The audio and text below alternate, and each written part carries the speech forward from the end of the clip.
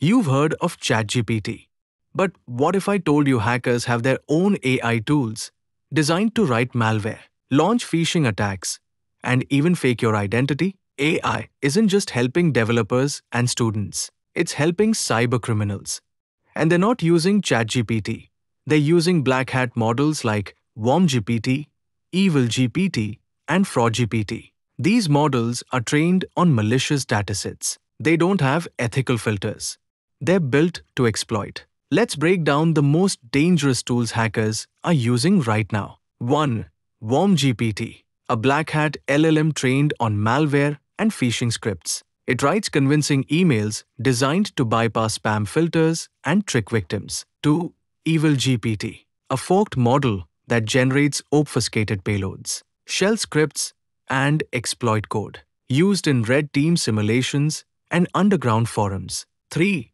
FraudGPT, specialized in financial fraud, generates fake invoices, synthetic identities, and deepfake voice scripts. 4. AI powered OSINT scrapers. These tools automate reconnaissance, scraping LinkedIn, GitHub, and social media to build psychological profiles for targeted attacks. 5.